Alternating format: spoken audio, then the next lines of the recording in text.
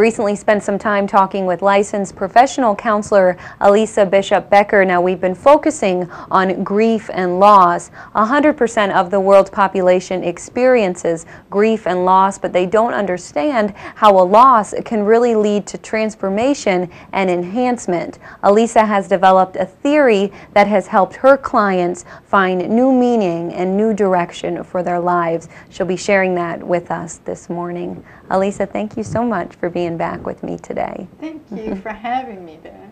All right, Elisa, now this theory, you have developed it, and it really can lead to a total transformation in someone's life who has experienced loss. It does, and uh, not everyone gets through the entire um, cycle, the entire spiral, as I call it, but it has helped many, many people find meaning through an experience that they initially thought that they couldn't survive mm-hmm. the way a lot of us do. Now, all of this theory is explained in your book, Elisa, and it's broken up into different stages. So, could you kind of give us a summary of some of those stages this morning? Sure.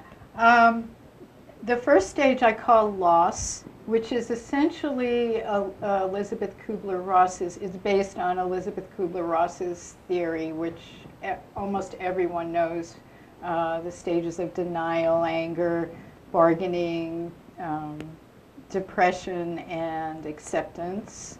And what I found was through my own experience and, and counseling others and learning about the process was that people would get to the end of acceptance and say to me, now what? Mm-hmm.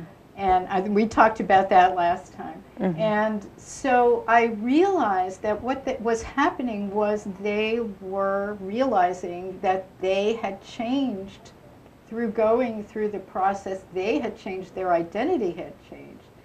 And what the second part of it is, is coming to terms with that change, how, the, how they've changed, and what that means in terms of the direction of their lives and their relationships and um, their idea about who they are.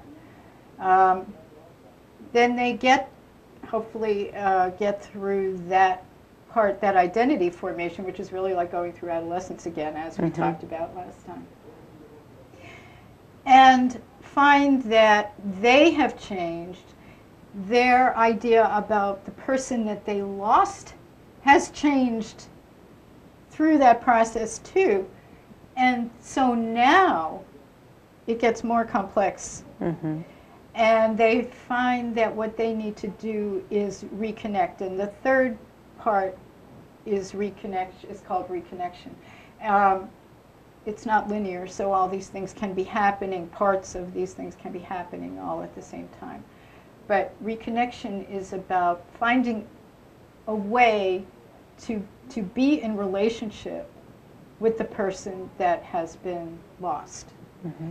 And so it's really a sorting out process.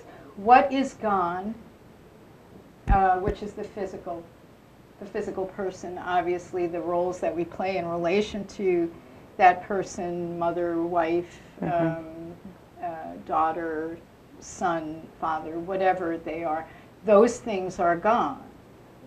And yet, by being in relationship with that person, we have learned, we have participated in the relationship, um, we have given and, and, and received from the relationship. What is it that we can take with us that is not gone? Mm-hmm. So, what is it that's not physical that we can keep and move forward into the future with. Mm-hmm.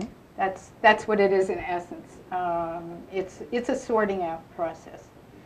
And so, and the, the last part of it is called creation because once we've become, once we've figured that out and we have recognized that we have changed and we have realized what it is that we can keep, that not everything has been lost. Mm-hmm, mm-hmm. Then we can move into the future with that, and new things can be created out of that relationship that we thought was lost. And that really is what makes meaning from the experience.